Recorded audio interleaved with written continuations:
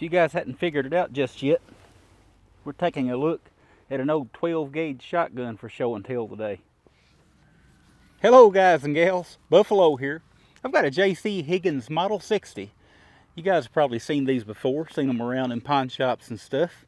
This one is Sears and Roebuck catalog number 583.600. Now that's not a serial number. To the best of my knowledge, this gun was manufactured in 1956, and of course, serial numbers weren't even a requirement until 1968.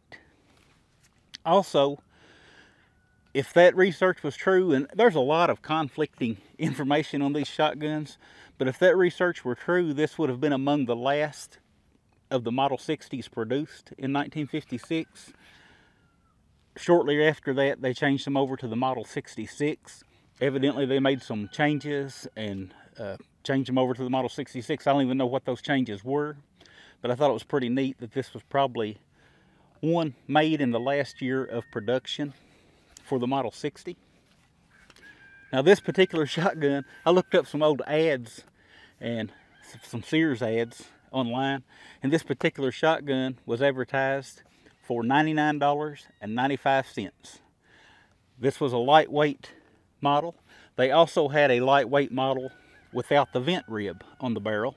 This one has the ventilated rib. The one without the rib went for $94.95. And they also had a deluxe model that had a compensator and a variable choke out here. Now, I've seen more of those than I have the ones without the choke, but uh, they're, they're pretty common. Those went for $105.95 or 100 maybe it was $104.95. It, it wasn't much difference between this and the one with the compensator and variable choke. Now to put that in perspective, a gallon of gas in 1956 was 22 cents. A first class postage stamp to mail a letter was 3 cents. So uh, it, it was a different time for sure. You could walk into a Sears, plop down a hundred bucks, walk out with a shotgun like this without sacrificing your privacy for a background check or anything like that and walk out and go on about your day. It, it was a different time for sure and many would argue it was a better time. My friend Anthony normally keeps this shotgun plugged to hold two in the magazine for hunting purposes, to keep it legal for hunting.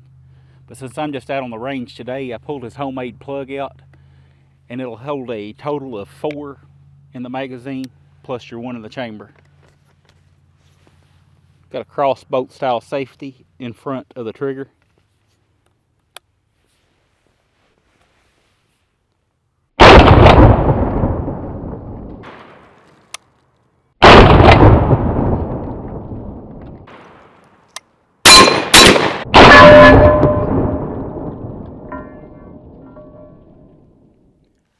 Those of you guys that may not know, Sears and Roebuck used the store brand name J.C. Higgins on a wide variety of sporting goods, not just firearms.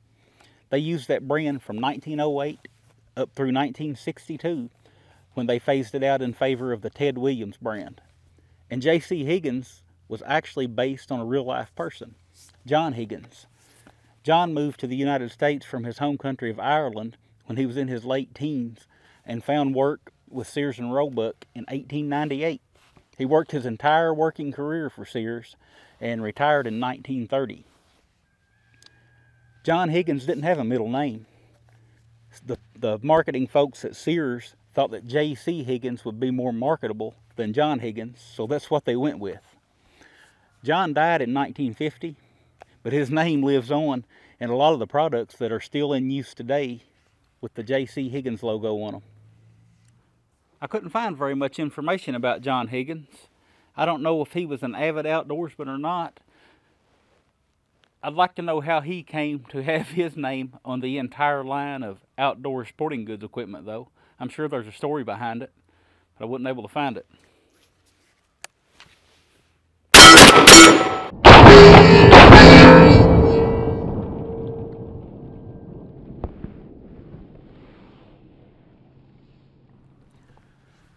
I was looking at some of the old ads from 1956 on this J.C. Higgins Model 60 shotgun, and they boasted that this thing was the fastest shotgun in the world, that you could get off five shots in one second.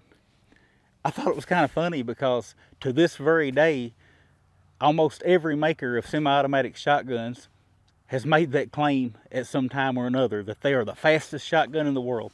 That still sells shotguns to this day.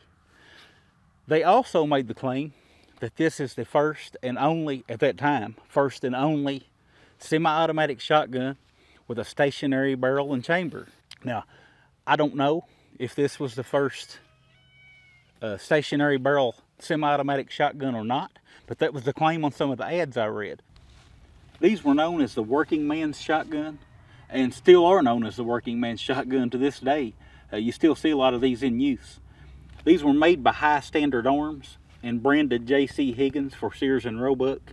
Uh, Sears and Roebuck didn't actually produce this shotgun. Uh, they had it produced for them by High Standard Arms. It has a pretty good reputation among hunters and target shooters alike. It's a gas operated shotgun so it spreads that recoil load out and this gun quickly developed a reputation as a soft shooter.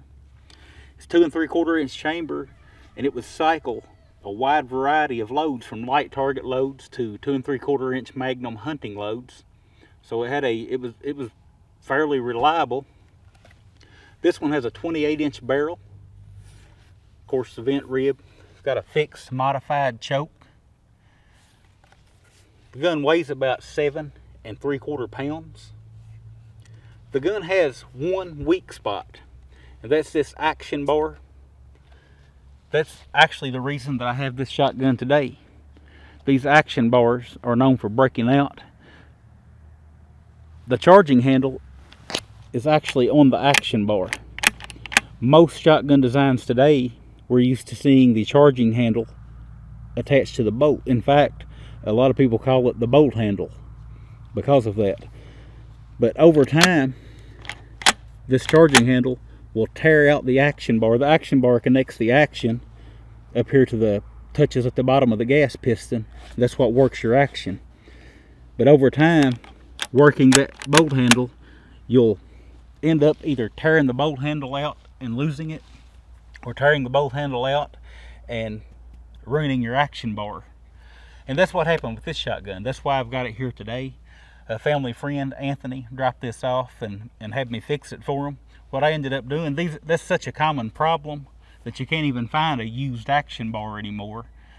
You have to get a, a repro, and Numrich happens to make a repro, and it's an improved design. It should last longer. So I ordered him one of those Numrich repros and, and put it in here for him. It's actually, I mean, it, it's pretty simple, but it's tough at the same time. You do have to remove the magazine tube to get to the action bar and this magazine tube was frozen there pretty tight. Uh, it took some took some work to get it out of there, but I got it in there for him. So while I had it here today, I thought I'd do this video because I found it interesting. I had seen these around. I've never owned one, and I, I think it's just an interesting uh, interesting piece of American history.